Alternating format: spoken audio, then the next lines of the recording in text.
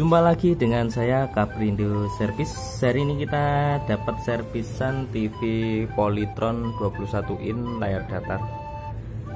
Uh, hari ini sudah tak bongkarin seperti ini teman-teman. Uh, bekasnya dulu kayaknya sudah pernah rusak. Dan kerusakannya ini adalah mati total. Uh, biasanya orang mengira kalau mati total itu banyak yang beranggapan bahwa kabelnya putus. Atau fuse-nya terputus. Tapi sebenarnya kadang-kadang ya bukan teman-teman. Kita harus cermati benar. Uh, ambil multitester atau avometer.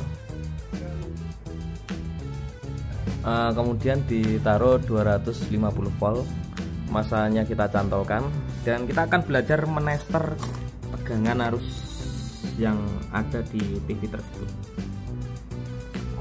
Uh, kemudian kita harus tahu B plus yang untuk mengarus ke flyback.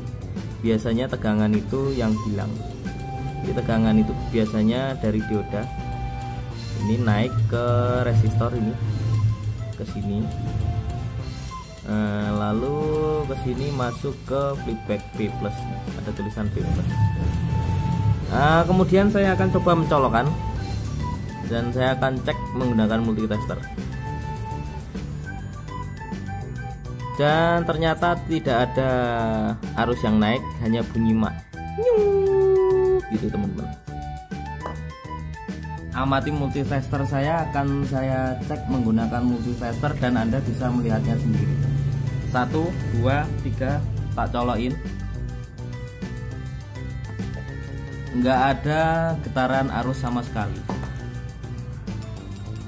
Untuk itu kita akan coba sedot bagian B plusnya kita akan sedot di bagian sini. Nah ini. Kita akan sedot pakai sedotan timah. Jadi kita nggak nyampe arusnya nggak kita sampaikan ke flyback.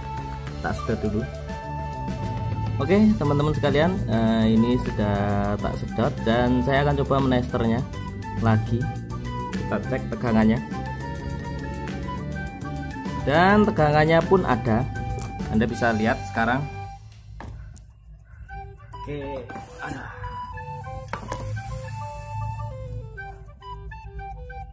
Oke, Anda perhatikan. Tak colokin satu, dua, tiga. Oke, ada dan turun kembali karena belum bekerja. Jadi setelah masuk playback eh, TV pun kalau ini arus ini B plusnya masuk ke arus playback TV nggak mau kerja atau nggak mau hidup. Dan saya akan coba melepas TR horizontalnya. Ini sudah saya coba lepas tapi belum keseluruhan. Mau tak mau tak cepot dulu ini transistor horizontalnya. Oke tunggu dulu tak cepot transistor ini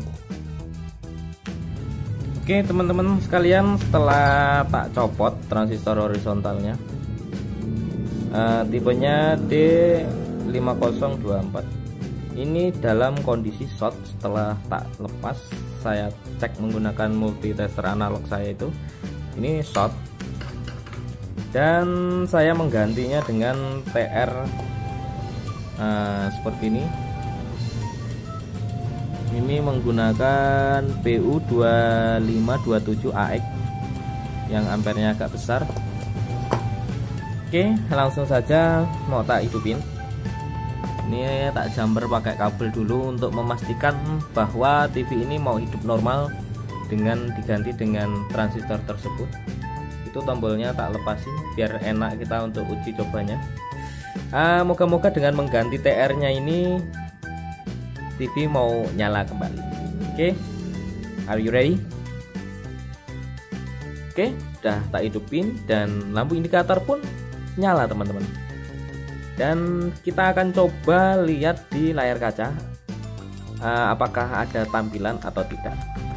Jreng. Itu dia hasilnya. Nyala. Oh foto lele yang jelas tuh kalau servis TV belajar servis TV itu kita harus tahu alurnya teman-teman. Alurnya itu nyumbat di mana arusnya nyumbat di mana dan kita harus tahu. Servis TV itu enak teman-teman. Cepet jadi kalau ketemu yang rusak tapi.